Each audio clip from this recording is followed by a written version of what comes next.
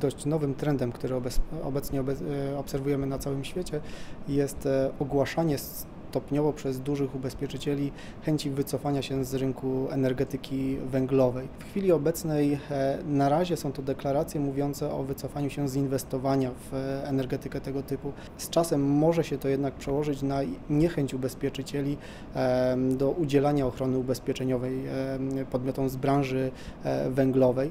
Nie sądzimy, żeby nastąpiło takie coś, takie wycofanie się ubezpieczycieli na polskim rynku e, w najbliższym czasie. Jednak nie można tego wykluczyć.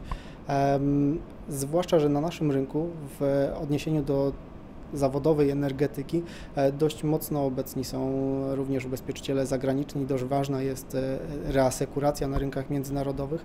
E, z drugiej strony jest to miejsce dla nowych towarzystw, na przykład Towarzystwa Ubezpieczeń Wzajemnych. Odpowiedzialność za szkody a odpowiedzialność odszkodowawcza to są dwie różne rzeczy.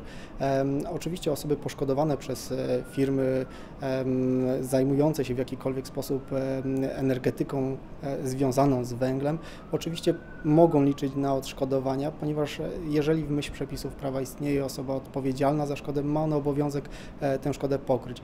Pod znakiem zapytania stanie po prostu w przyszłości to, czy firmy narażone na to ryzyko będą w stanie uzyskać e, ochronę ubezpieczeniową, a zatem czy znajdą źródło finansowania inne niż własne środki e, finansowe.